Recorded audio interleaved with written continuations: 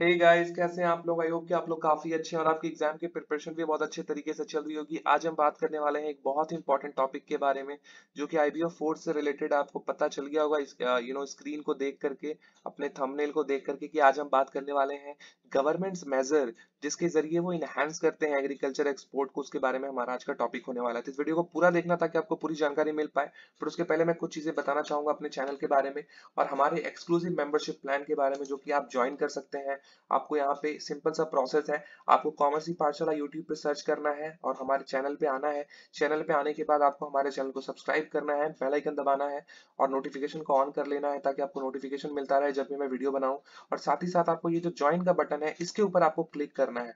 आप जैसे ही ज्वाइन के बटन को क्लिक करेंगे, आपको इग्नू एमकॉम का जो कोर्स है, वो आपको नज़र आएगा, जहाँ पे आपको ढेर सारी बेनिफिट्स मिलेंगी। आप मतलब आपको हर एक तरह की बेनिफिट यहाँ पे आपको मिलने वाली है आपके कोर्स के रिगार्डिंग जिससे आपको जो अपने कोर्स को कंप्लीट करने में बहुत ही आसानी हो जाएगी। सबसे पहला बात तो ये है कि आपको असाइनमेंट्स फ्री ऑफ़ कॉस्ट मिलने वाला है। एक रुपए भी आपको पेमेंट नहीं करना होगा असाइनमेंट्स के लिए। आपको नोट्स बहुत ही सस्ते दामों पे मिल जाएँगे, है ना? और आपको व्हाट्सएप सपोर्ट मिलेगा ट्वेंटी फोर सेवन सर्विस आपको मिलेगी, जहाँ पे आपको हर एक तरह का क्वेश्चन के, आपके सवाल का जवाब दिया जाएगा।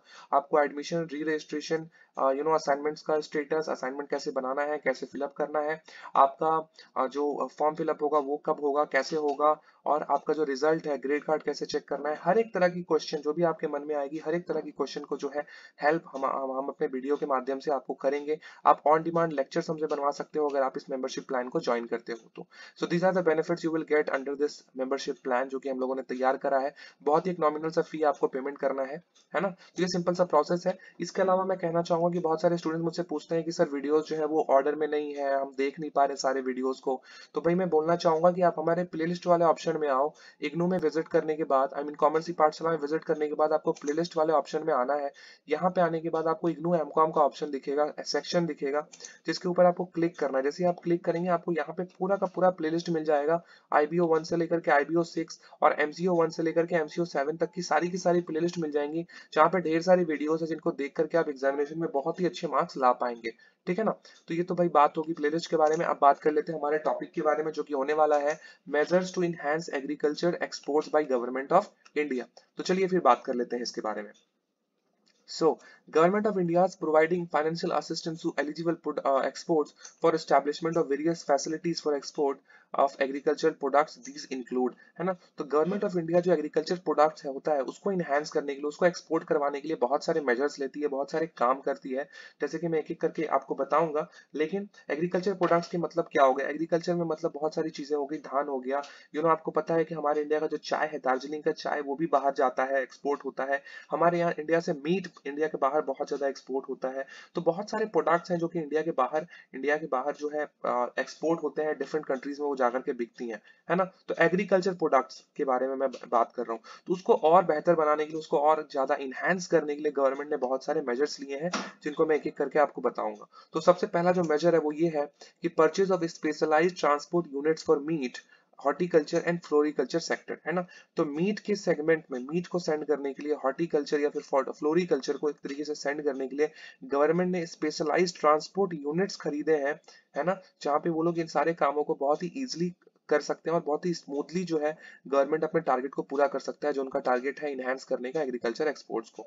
तो सबसे पहला पॉइंट क्या है कि गवर्नमेंट ने परचेज करे हैं, खरीदे हैं special transport units for meat horticulture and floriculture दूसरा पॉइंट है establishment of pre cooling facilities है ना? तो जो प्री कूलिंग फैसिलिटी होती है उसका उसको एस्टेब्लिश करने का काम भी जो है गवर्नमेंट ने करा है। आपको पता है कि अगर मीट आपको इंडिया के बाहर भेजना है तो आपको फ्रीजर में भेजना पड़ेगा ताकि वो खराब ना हो। तो उसके लिए जो प्री कूलिंग फैसिलिटी होती है कूलिंग करने के पहले की जो फैसिलिटीज़ होती है वो गवर्नमेंट ने तैयार करवाई है ताकि इन, इन सब चीज़ों को बचाया जा सके और एक्सपोर्ट करने में आसानी हो।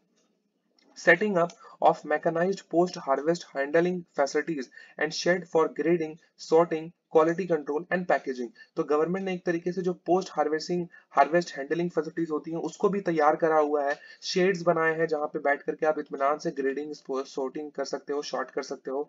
जो क्वालिटी कंट्रोल है वो चेक कर सकते हो पैकेजिंग कर सकते हो अपने प्रोडक्ट्स का। उसके लिए गवर्नमेंट ने डिफरेंट डिफरेंट शेड्स बनाए हुए हैं। चौथा पॉइंट है establishing vapour heat treatment for fumigation and screening machine for exports है ना? तो यहाँ पे इन सारी यू नो चीज़ों को करने के लिए हीट ट्रीटमेंट करने के लिए फूमिगेशन करने के लिए स्क्रीनिंग करने के लिए मशीन्स का मशीन्स के थ्रू ये जो है स्टैब्लिश किया गया है इन सारी चीज़ों को। पांचवा पॉइंट है establishing cold stores at airports sea ports for export purpose तो एक्सपोर्ट पर्पज में जब भी बात की जाती है तो वहाँ पे जो कोल्ड स्टोर्स हैं एयरपोर्ट एंड सी पोर्ट्स में तैयार किए जाते हैं। है ना? तो ये सारे बेनिफिट जो है गवर्नमेंट यहाँ पे देती है। Financial assistance is also provided in respect of the following तो ये तो बात होगी फैसिलिटीज़ के बारे में। अब इसके अलावा जो है गवर्नमेंट फाइनेंशियल असिस्टेंस भी प्रोवाइड करती है कि अगर आपको पैसों की ज़रूरत है कुछ कुछ एक्टिविटी को करने के लिए तो वहाँ पे गवर्नमेंट आपको पैसे भी प्रोवाइड करेगी। सबसे पहला जो पॉइंट है वो ये है कि supply of product samples for test marketing है ना? तो सप्लाई आपका आपको करना है अपने अपने प्रोडक्ट सैंपल्स को ताकि उसकी मार्केटिंग की जा सके टेस्ट मार्केटिंग की जा सके कि वो काम कर रहा है कि नहीं कर रहा है, ठीक तरीके से लोगों को पसंद आ रहा है कि नहीं आ रहा है। तो उस केस में जो फाइनेंशियल असिस्टेंस की दरकार होती है, जो उसकी ज़रूरत पड़ती है तो वो भी गवर्नमेंट आपको प्रोवाइड करती है। दूसरा पॉइंट है preparation of product literature public materials firms अब देखो, जब आप प्रोडक्ट बना ले रहे हो, बाहर भेज रहे हो तो ज़रूरी नहीं है कि आपका प्रोडक्ट लोगों को पसंद आ जाए। सबसे बड़ी बात तो ये है कि प्रोडक्ट के बारे में अवेयरनेस लोगों के अंदर होनी चाहिए कि ये प्रोडक्ट है, इसके ये सारे बेनिफिट्स हैं। अगर मैं इनको इस्तेमाल करता हूँ तो मुझे ये सारे बेनिफिट्स वहाँ पे मिलेंगे, है ना? तो उसके लिए इंपॉर्टेंट है कि आप यू नो प्रोडक्ट लिटरेचर तैयार करो पब्लिसिटी मटेरियल तैयार करो फ़िल्म तैयार करो, ताकि लोगों को आप एनकरेज कर पाओ अप्रोच कर पाओ कि आप हमारे प्रोडक्ट को खरीदें। तो इन सब चीज़ों को तैयार करने के लिए या एक तरीके से पब्लिक मटेरियल को रेडी करने के लिए आपको जो है फाइनेंशियल फाइनेंशियल असिस्टेंस की दरकार होती है जो कि गवर्नमेंट आपको प्रोवाइड करती है। ब्रांड पब्लिसिटी थ्रू एडवर्टाइजमेंट अब आपको अपने प्रोडक्ट की ब्रांड पब्लिसिटी करवानी है ऐड करवाना अपने प्रोडक्ट का ताकि लोगों तक ये बात पहुँच पाए, लोगों तक आपके प्रोडक्ट की जानकारी पहुँच पाए। तो उस केस में जो भी फाइनेंशियल असिस्टेंस की आपको दरकार होगी, ज़रूरत पड़ेगी, वो भी गवर्नमेंट आपको प्रोवाइड करेगी। ठीक ना? चौथा पॉइंट है participation in international fairs and exhibition अब ये बहुत ही एक इंपॉर्टेंट पॉइंट है। अब देखो, आपने अपने प्रोडक्ट को तो बना दिया, लेकिन आपको पता है कि आपका प्रोडक्ट जो है, वो बहुत ही अच्छा है। पूरे वर्ल्ड में जितने भी सारे सेम कैटेगरी में जो प्रोडक्ट बनाते हैं, उन सबसे अच्छा प्रोडक्ट जो है आपका है। लेकिन लोगों तक ये बात कैसे पहुंचेगी? सिर्फ़ एडवर्टाइजमेंट से तो करने से पता नहीं चलेगा ना। एडवर्टाइजमेंट तो सारी कंपनीज़ कर रही है। किसका बेहतर है, कैसे पता चलेगा? तो इसके लिए गवर्नमेंट आपको अलाउ करती है कि आप इंटरनेशनल फेयर जो होते हैं, जो मेले होते हैं, जो एग्जीबिशन होते हैं, आप वहाँ पे जाकर के पार्टिसिपेट करो ताकि वहाँ पे लोग आए पर्टिकुलरली आकर के आपके प्रोडक्ट को चेक करें कि कैसा है, नहीं है, और फिर आपके प्रोडक्ट को पसंद करें। तो उस चीज़ के लिए जो फाइनेंशियल असिस्टेंस की दरकार होती है, वो भी गवर्नमेंट यहाँ से आपको प्रोवाइड करती है। है ना? पैकेजिंग के लिए देखो गवर्नमेंट स्कीम चलाती है, यहाँ पे देखो, बोला हुआ है scheme for packaging development is for है ना? तो यहाँ पे development of packaging standard and design आपको पैकेजिंग कैसे करना है, उसका डिज़ाइन क्या होगा? देखो, आपको पता है कि अंदर से सामान कैसा भी रहे, बाहर से अगर पैकेजिंग अच्छी होगी तो आप उस सामान को खरीद ही लोगे, क्योंकि वो अट्रैक्टिंग होता है है ना? तो पैकेजिंग को कैसे तैयार करना है, उसकी डिज़ाइन क्या होगी, इसके लिए गवर्नमेंट जो है फाइनेंशियल असिस्टेंस प्रोवाइड करती है। Utilising packaging developed by APEDA through IIP and other other along with produce of India label है ना? यहाँ पे जो है गवर्नमेंट एक तरीके से प्रोड्यूस ऑफ़ इंडिया या फिर मेक इन इंडिया का जो है लेबल भी लगाती है। प्रोड्यूस ऑफ़ इंडिया तो अब पुराना हो गया, अभी तो मेक इन इंडिया चल रहा है। तो ये सारी बेनिफिट जो है आपको यहाँ पे मिलती है।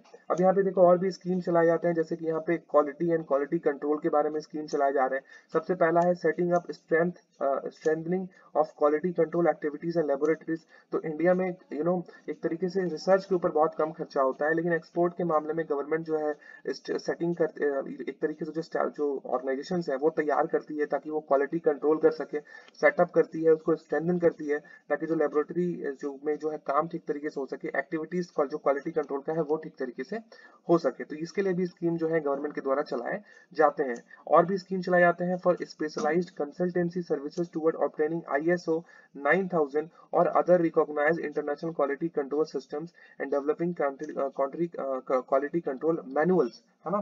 तो गवर्नमेंट इस चीज़ में भी आपकी बहुत ज़्यादा हेल्प करेगी कि आपको जो है आईएसओ 9000 का जो एक रिकॉग्निशन मिलता है है ना? क्वालिटी कंट्रोल का जो एक छाप मिलता है आपको एक आ, आ, क्या बोलूँ एक अथॉरिटी मिलता है कि आपका प्रोडक्ट जो है अच्छा है उस चीज़ के लिए जो भी आपको यू नो चीज़ की ज़रूरत होती है जो भी स्पेशलाइज्ड कंसल्टेंसी सर्विसेज़ की ज़रूरत होती है वो भी गवर्नमेंट जो है आपको प्रोवाइड करती है फ्री ऑफ़ कॉस्ट है ना?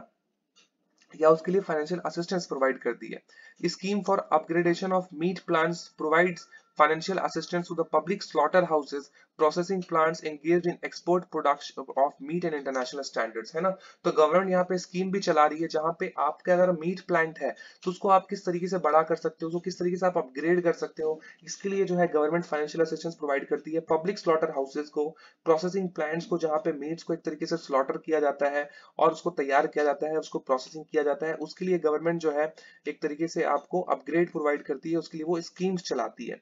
है ना? Scheme for organisation building and human resource development and training तो जब आपने बिज़नेस खड़ा कर लिया बिज़नेस को चलाना है तो बिज़नेस को चलाने के लिए आपको लोग चाहिए ह्यूमन रिसोर्स चाहिए। तो उसको डेवलपमेंट करवाने के लिए, उसको ट्रेन करवाने के लिए गवर्नमेंट ने बहुत सारे स्कीम्स चला करके रखे हैं। तो ये भी एक स्कीम है, ये भी एक बेनिफिट है जो कि आपको मिलता है जब भी आप बात करते हैं गवर्नमेंट मेजर्स के बारे में। है ना? इसके अलावा जो आखिरी पॉइंट है, वो ये है कि scheme for generating relevant research through research institutions for common benefit of trade and industry तो किसी भी ट्रेड एंड इंडस्ट्री के कॉमन बेनिफिट के लिए गवर्नमेंट ने बहुत सारे रिसर्च इंस्टीट्यूशन भी बनाए हैं, जो कि रिसर्च करते हैं उनके प्रोडक्ट्स के ऊपर या क्या मार्केटिंग स्ट्रेटेजी होनी चाहिए, क्या आपकी पॉलिसी होनी चाहिए रिगार्डिंग द एक्सपोर्ट ये सारी बेनिफिट जो है आपको प्रोवाइड की जाती है बाई द गवर्नमेंट उसके लिए भी गवर्नमेंट जो है स्कीम्स चलाती है।